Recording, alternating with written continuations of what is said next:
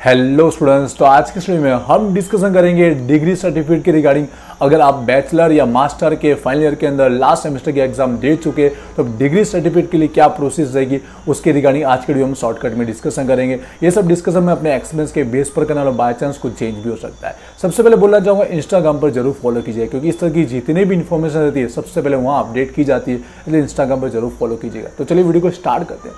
तो बोलना चाहूँगा, अगर आप फाइनल ईयर के स्टूडेंट्स हो, चाहे यूजी या पीजी और आपने लास्ट सेमेस्टर की एग्ज़ाम दे चुके हैं, जो मोस्ट ऑफ़ मार्च और अप्रैल में हमारी फिनिश हो जाती है, उसके बाद बात करते हैं रिज़ल्ट की, जो मे एंड होते हैं या फिर जून के फ़र्स्ट वीक तक हमारा डिक्लेयर हो जाता है। तो रिज़ल्ट डिक्लेयर होने के बाद, कब हमें डिग्री सर्टिफिकेट के लिए नोटिफिकेशन आती है? तो बोलना चाहूँगा, गुजरात यूनिवर्सिटी की बात कर रहा हूँ, सबसे पहले सेप्टेम्बर मंथ में approx ninety percent September month में हमारा फ़र्स्ट डिग्री सर्टिफिकेट के लिए ऑफिशियल वेबसाइट के ऊपर नोटिफिकेशन आती है, जहाँ पर हमें 15 से लेकर 25 डे दिए जाते हैं ऑनलाइन फॉर्म फिलअप करने के लिए, जिसमें इस साल जो पास आउट हुए वो अपना फॉर्म फिलअप कर सकते या फिर पिछले साल के जो एटी के के स्टूडेंट्स भी रहेंगे अब वो पास आउट हुए तो वो भी ये डिग्री सर्टिफिकेट के लिए फॉर्म फिलअप कर सकते हैं। उसके बाद बात करते हैं सेकेंड टाइम भी हमें डिग्री सर्टिफिकेट के लिए फॉर्म ऑनलाइन आता है, जो रहता है मार्च मंथ अप्रोक्स मेरे इन्फॉर्मेशन के according most of March month end होते होते हमारा सेकेंड टाइम भी हमें ऑनलाइन फॉर्म फिलअप के लिए एक बार नोटिफिकेशन ज़रूर आता है, जिसमें करेंट ईयर के अंदर लास्ट सेमेस्टर की एग्ज़ाम देते थे, अगर वो उसमें किसी सब्जेक्ट में उनकी एटी रहेगी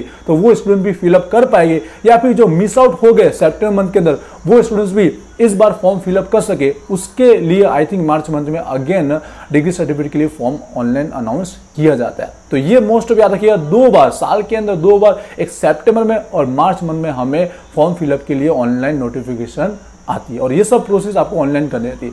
फ़ीस की बात करें तो nominal two sixty rupees charge रखा जाता है फॉर्म फिलअप का, जिसके थ्रू तो आपके घर तक भी पहुँचता है। बात करूँ कब तक हमारे पास ये सर्टिफिकेट पहुँचता है और किस तरह से? तो मोस्ट ऑफ़ स्पीड पोस्ट के थ्रू आपके घर तक पहुँचाया जाता है, जिसके अंदर ड्यूरेशन लग सकता है।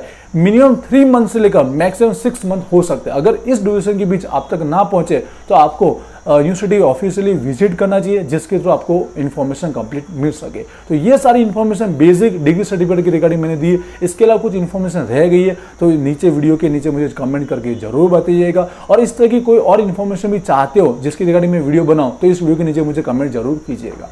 आई होप इस इन्फॉर्मेशन से आपको हेल्प हुई होगी तो इस वीडियो को दूसरे को तक भी ज़रूर पहुंचिएगा मिलते नेक्स्ट वीडियो में।